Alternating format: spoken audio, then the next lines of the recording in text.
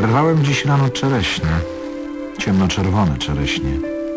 W ogrodzie było ćwiertliwie, słonecznie, rośnie i wcześnie. Gałęzie jak opryskane dojrzałą wiśni jagodą zwieszały się omdlewając nad stawu odniebną wodą.